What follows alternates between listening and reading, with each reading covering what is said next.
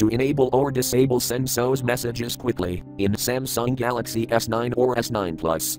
Open settings. From a home screen, swipe up or down from the center of the display to access the apps screen. Tap settings.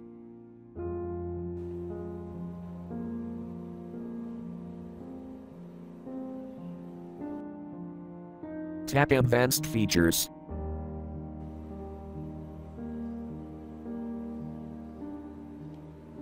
Scroll down.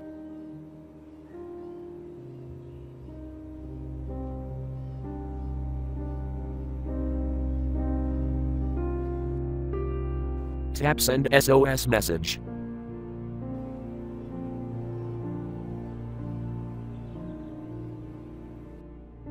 Tap send SOS messages switch until blue to enable, or tap until gray to disable.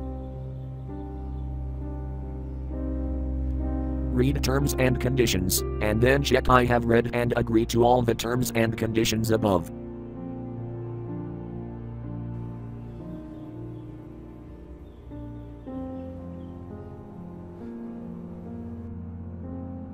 Tap agree.